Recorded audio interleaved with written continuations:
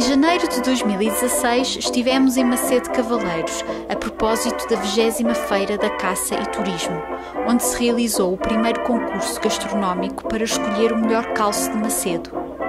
Saiu vencedora a Padaria Gaspar em Chassim. Foi bom. Foi uma experiência nova. Espero que haja mais para ganharmos mais. Mas sabia que tinha qualidades para ganhar. Toda a gente ligava e faça por muitas festas, por isso se faço é porque tem qualidade, não é? Para fazer um calço bom leva 7, 8 horas.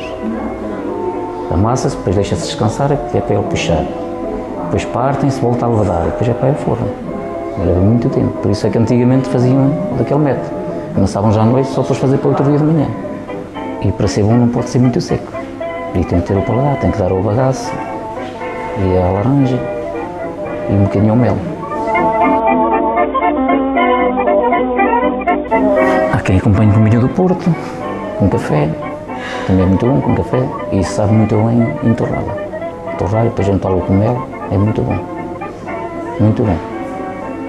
Tem que experimentar.